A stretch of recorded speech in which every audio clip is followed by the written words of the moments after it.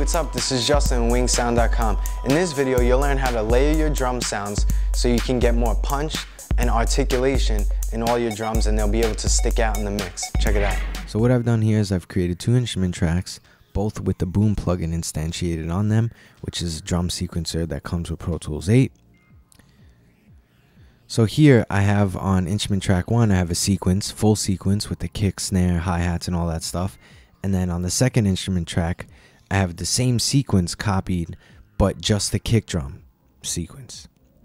So now this technique I'm going to show you will work if you're using acoustic drums as well. If you got an acoustic kick drum, all you want to do is create another audio track and copy and paste the exact kick drum hits onto that new audio track that you've created.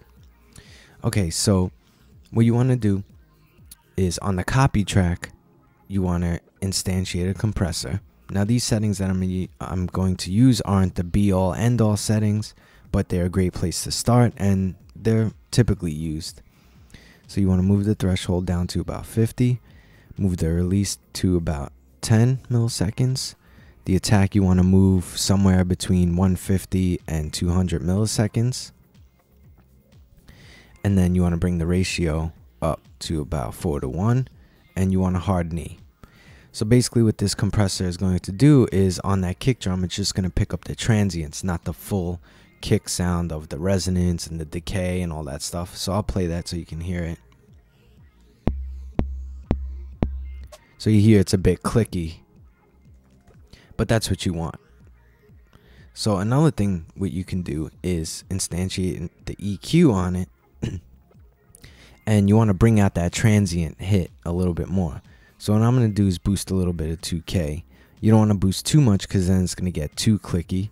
I'm going to widen this out a little bit. So I'm boosting 2K and some of the frequencies around it as well.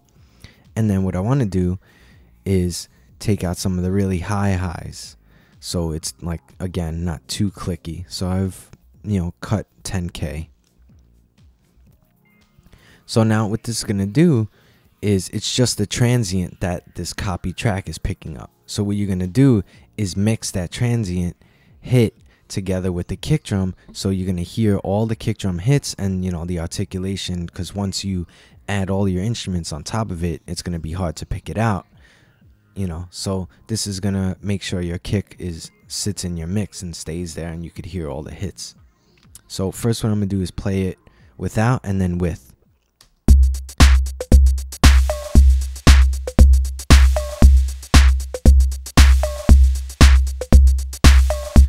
So if you listen real closely, you can hear the kick hits a lot cleaner. You can always get in touch with Justin at winksound.com and check out more of Justin's videos, including these titles featuring the new Pro Tools 8, now available on demand at winksound.com.